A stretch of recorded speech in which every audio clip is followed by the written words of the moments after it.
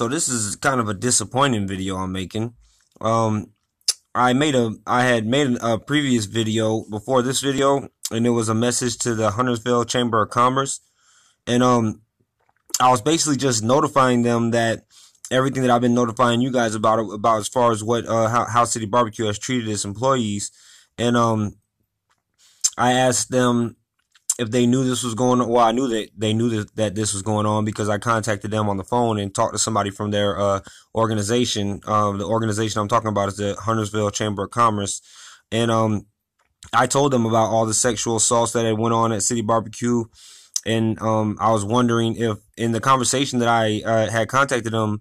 Uh, what happened in this conversation, I basically just asked the lady, did they know uh, what was going on? Because she asked me why, what did I think I could do by um, contacting them? What did I think they can do? I said I didn't really think you could do anything. I just wanted you to know that um, it, it, if this is a company that you support, I want you to know that this is what they've done. So um, the uh, yesterday, last night, around sometime after I made my video, um, it's called the uh, message to the Huntersville Chamber of Commerce or something like that. It's like the video right before this one. And um, I basically just stated again, um, I actually gave them a five star rating on their Facebook page. And I said, I'm giving you this rating because uh, basically the lady was concerned. Um, well, I didn't tell them this, but the reason why I gave them uh, this uh, five star rating on their Facebook page is because the lady I talked to seemed like she was very concerned, and she had told me that she had, I think she had notified one of her police friends or something like that, and um, so that's why I gave them the, the uh, five star rating. I also made a Google review of them and gave them the same five star rating in hopes that they were just as disturbed by everything that City Barbeque has done to its employees and, and myself as I was. Um, so in response to my Facebook message to the Chamber of Commerce, somebody from their organization contacted me back and told me that um I, I, should notify the police, I should talk to the company, I should do all these things that I've basically already done, except for notifying the police.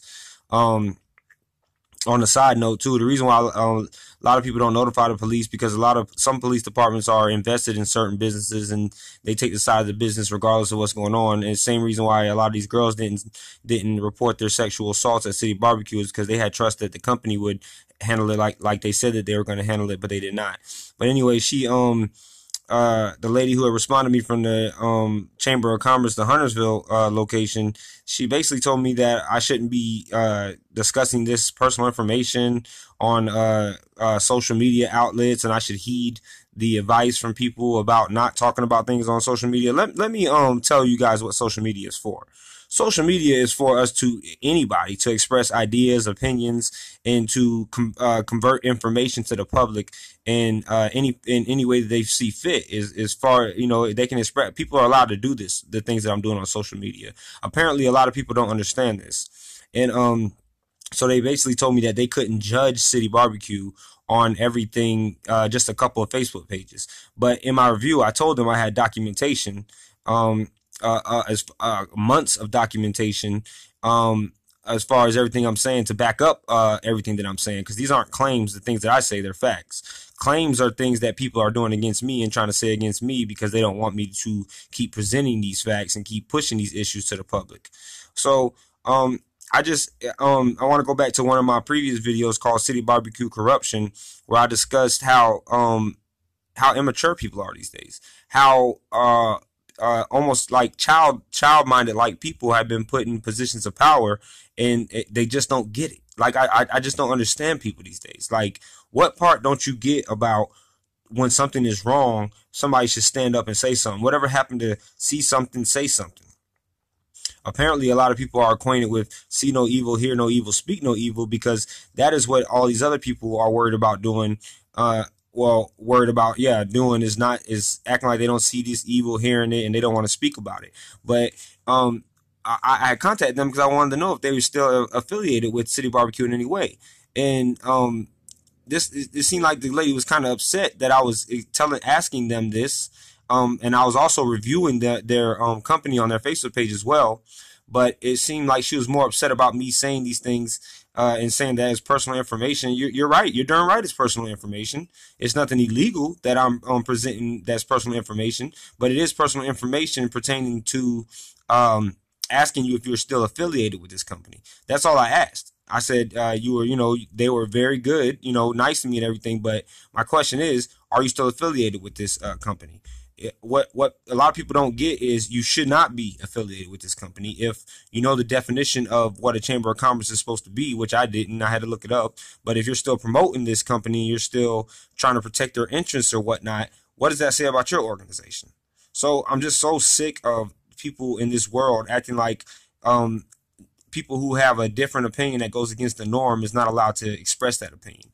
Just because uh, i don't um, ha- I'm not being politically correct, and um, I, I don't want to use little fancy words to sugarcoat the things that I'm saying. People are more upset that I'm saying these things than they are about uh, the fact that these things have happened. So um, I just want to inform you guys again that this is, you know, this is kind of how our world works, and it's and it's pretty, it's quite sad that um, we are raised in a in a in America in a place where we are supposed to uh, do righteous things and defend righteous causes, which is what I'm doing. And so many uh, uh self-proclaimed adults um, don't seem to get that um, this is the right thing to do, and that they should sever ties with people who are not interested in doing the right things. So it, it's just very, very disturbing that this is what our world has come to. And I just, I just want you guys to. This is just me just talking. I, I just want you guys to understand that this is where we've come to uh, in society and um, it's just very, very sad that we have uh, our children um, are going to have to grow up in this world with people who are in positions of power that just don't seem to get uh, simple black and white, simple right from wrong, simple uh, the simplicity of the things that I'm saying is you should have when I if I was um um the head of Chamber of Commerce or I was whoever that um who run this organization, I would have cut ties as soon as I found anything out. But not only um cutting ties, um you need to investigate or look closer into companies before you decide to support them. Because if things like this are going on and you're in, in um you don't know it, that's fine. But it is partly your fault if you don't know things that are going on if you don't investigate. So if somebody comes to you and tells you something like that, if I was somebody from Chamber of Commerce, my first uh, mission would have been after I received the information that I had given them. My first um, uh, initiative would have been to um, go investigate and go talk to people about if this is going on instead of still parading and celebrating a, a name of a company who would allow something like this to go on. So, um, and and I also want you to know, like you, like I've said in another one of my videos, you have to empower yourself when it comes to things like this, and don't feel bad if people don't like what you're saying, and don't feel upset if uh people want to be worried about what you're saying because you're saying stuff that people don't like. If it's true, it doesn't matter if they like it or not. It's the truth. So the only question I had had was, did you guys still affiliate with this company? And apparently, it, um, uh, I was upsetting more people by asking that question than I was that three. Uh, they were more upset about me asking these questions than apparently they were about these three sexual assaults. Because if you're that upset about me saying something, you should have been a thousand more times upset about these things actually happening and trying to investigate so you can know what's going on. They're telling me that I, that they merely suggest that I um do this on the right outlet and so on and so on. So no, this is the right outlet. The outlets that I am are the right outlets because um uh, contacting people personally and doing all these other things and letting people know the same the simple facts have that have gone on is apparently it's not working.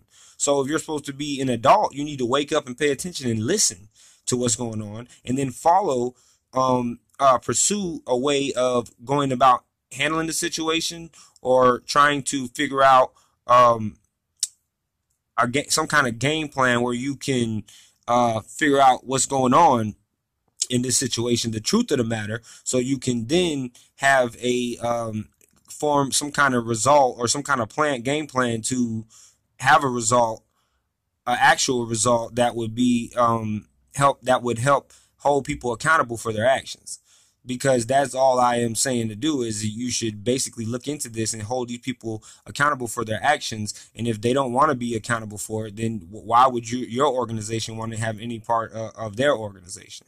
So it's just um, mad crazy that um, people will still sit here and um, say that they are one thing. Their job description says that they're um, that they are supposed to represent and do one thing, but then they do another because the truth offends them, or they don't like hearing the truth over social media, even though that is what people are use social media for is to uh, uh, engineer. Well, I don't know about engineering, but basically presenting their ideas and their facts to the public, and that's all I've been doing this whole time. So, um, like I said, the, these are the things that um, supposedly people in power and supposed to be grown-ups they're more upset about than they are about the, that these things have actually happened, and um, so I guess I'm gonna have to keep on cranking these videos out. I'm gonna have to keep up with my Facebook page. I'm gonna have to keep um uh trooping and trooping until something is done to rectify the problem because there's a serious problem with an organization that can treat their employees this way and keep getting away with it. And it seems like nobody is upset like they are supposed to be. Nobody is ir- irate like they should be about about uh, what a company like this would allow to happen to their uh, employees on a on a regular on a uh, daily basis at multiple locations. Like I said, like if they take me to court, I will be bringing every single review that I have of this company with me, so I can uh, read the reviews to the judge, or have my lawyer or whoever's defending me uh, read my reviews to the judge and let them know that all of my um, words and all of my um, self-expression things on on social media are based on facts and not just because um I am on some kind of revenge path or I'm some kind of evil, mad, uh, wannabe genius who thinks that they can, uh, uh, who is threatening people and all this other stuff that they're lying on me about because I'm not. What I am is a person who pursues righteousness. What I am is a person who pursues justice. What I am is a person who does not like to see uh, honorable honorable uh, people be disrespected and uh, put down, and dishonorable people be uh, highly respected and praised for doing these things that they should not be doing or um, treating people in ways they should not be treating people. So again, this is just um, another little chat. I'm just trying to keep you guys updated. I guess you can call this my um, audio diary that I'll be keeping because eventually, you know, people will listen. It seems like nobody else wants to listen, so uh, I have to keep presenting this facts to whoever will listen. Uh, thank you again. I'm gonna go ahead and get off of this thing. So I, I don't want to talk your ear off no more. I want to go to like 30 minutes of me just talking because believe me, I, I am so disturbed by uh, people's actions and by um, what they're so mad about uh, that I could go on for like uh, hours at hand and just talk about this because uh, that is the only way that I can get it off my chest. So regardless if they want to hear it and they don't understand the truth and they don't want to understand the truth and they want to do the hear no evil, see no evil, speak no evil thing, somebody will still uh, hear this, regardless if they want to or not. Like I said, you don't have to listen to me. I don't care if you listen to me or not. This is just a, another way for me to express uh, how um, upset I am by these issues and how upset I am that uh, nobody else is upset by these issues. So I'm gonna go ahead and get off here, but thanks for listening again. Peace out.